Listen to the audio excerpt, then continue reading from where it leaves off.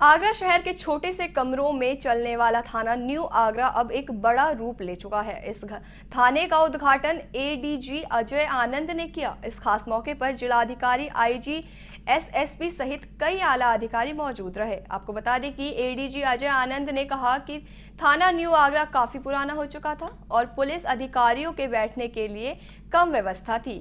वहीं आने वाले पीड़ितों को भी काफ़ी दिक्कतों का सामना करना पड़ता था, इसलिए इसको एक नया रूप दे दिया गया है, जिससे कि आने वाले आगंतुकों को कोई भी परेशानी का सामना नहीं करना पड़ेगा।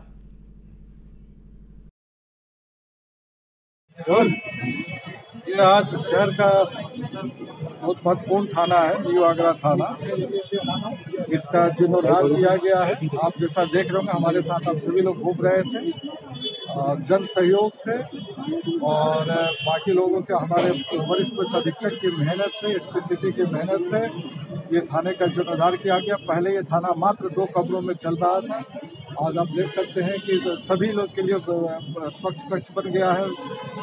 तीन चार नए कक्षों का बनाया गया है और इसका उद्घाटन हमारे एडीजी और आईजी साहब की गरिमा में उपस्थिति में हुआ है। साथ में हमारे यहाँ के जिलाधिकारी महोदय, श्री प्रभु नारायण सिंह भी हैं एस एसएसपी साहब भी हैं।